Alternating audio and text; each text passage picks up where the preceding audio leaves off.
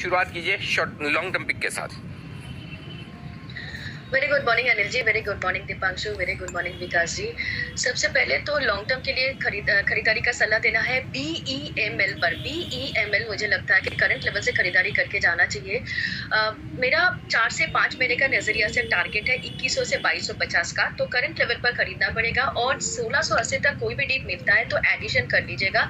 Sixteen fifty के नीचे stop loss maintain करना रहेगा और टारगेट के लिहाज से इक्कीस से बाईस पचास का टारगेट है चार से पाँच महीने का। मुझे लगता है कि चार्ट में बहुत दम है। यहाँ से बहुत अच्छा ब्रेकआउट देखने को मिल सकता है। ओवरऑल जो चार्ट है मुझे लगता है कि ऑलरेडी ये स्टॉक खरीदारी मतलब ब्रेकआउट दिया, दे चुका है। और फ्राइडे का सेशन में थोड़ा बहुत कंसोलिडेशन देखने को मिला था। आज मुझे लगता है कि जो थर्सडे का जो हाई बना था, अठारह सौ चौंतीस, उससे ऊपर चला जाएगा। तो जो इक्कीस का टारगेट चार पाँच महीने का मैं दे रही थी वो शायद एक से तीन महीने में आ जाना चाहिए। तो यहाँ पे खरीदारी करके चलने का सलाह होगा। अच्छा कंसलिडेशन भी देखने को मिला था।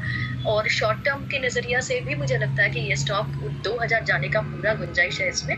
तो खरीदारी करके चलिए ई e e तो ये है बी एम पर आप